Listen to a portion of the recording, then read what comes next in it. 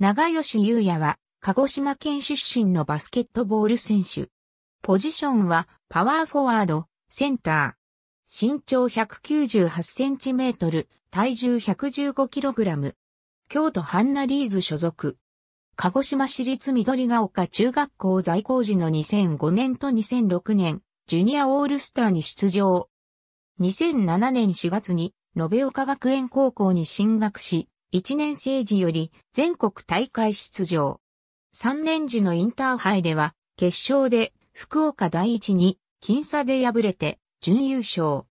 2010年4月、青山学院大学に進学。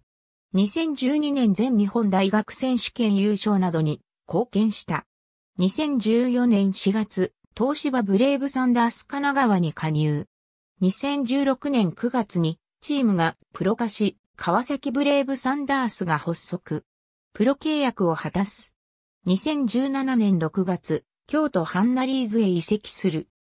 2018年8月、ジャカルタでの第18回アジア競技大会の期間中の問題行動により、1年間の公式試合への出場権剥奪に加え、所属する京都ハンナリーズより、出場停止期間中の原稿を日割りした金額とする、と、出場停止期間中の社会奉仕活動への無期限従事の処分が発表された。2019年4月11日、裁定委員会から日本バスケットボール協会に復権が妥当とする答申が出され、協会の理事会での決議を経て、長吉の処分解除が決まった。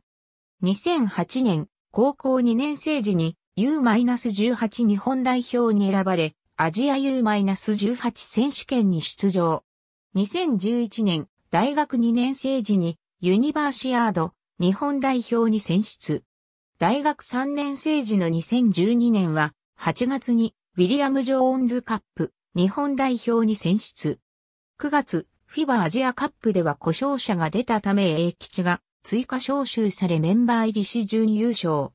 2013年5月の東アジア選手権で3位。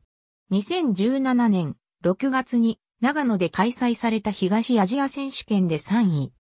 2018年8月第18回アジア競技大会日本代表、はやぶさジャパン平成24年度男子日本代表チーム第34回男子、ウィリアム・ジョーンズカップ参加。2012年8月22日閲覧。AB、バスケットボールキング2試合出場停止処分を受けた、京都ハンナリーズの長吉優也、今後のレベルアップにつなげてゆく。2018年3月31日閲覧。日韓スポーツ、橋本拓也、国旗にドロー、今村啓太、うぬぼれあった2018年8月20日21時55分。2018年8月21日閲覧。バスケ代表の4人、帰国処分に、公式儀で女性とホテルジャカルタイコールテルヤ県、中工事通る2018年8月20日11時32分。2018年8月21日閲覧。第18回アジア競技大会開催中の長吉、選手の JOC 行動規範に抵触する行動に関する兵クラブ処分について、2018年9月24日閲覧。